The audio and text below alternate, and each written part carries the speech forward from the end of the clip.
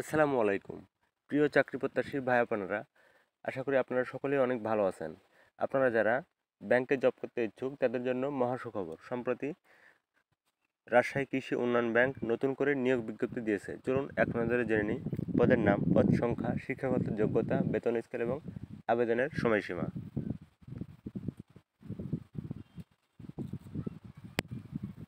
রাজশাহী কৃষি উন্নয়ন ব্যাংক সম্প্রতি নিয়োগ বিজ্ঞপ্তি দিয়েছে। প্রতিষ্ঠানটি উপ মহাব্যবস্থাপক মোহাম্মদ জাকির হোসেন বরাত দিয়ে এক বিজ্ঞপ্তিতে এ কথা জানানো হয়। ব্যাংকটি প্যানেল আইনজীবী পদে বাষট্টি জন নিয়োগ দেবে। এর মধ্যে নাটোর, বগুড়া, জয়পুরহাট, পাবনা, রংপুর, গাইবান্ধা, কুড়িগ্রাম নীলফামারী দিনাজপুর জেলায় নিয়োগ দেওয়া হবে। বিজ্ঞপ্তিতে আরও বলা হয়েছে, রাজশাহী কৃষি উন্নয়ন ব্যাংকের সংশ্লিষ্ট জোনের প্যানেল আইনজীবী পদের জন্য শুধুমাত্র উক্ত জেলা আইনজীবী সমিতির তালিকাভুক্ত সদস্যরা আবেদন করতে পারবেন।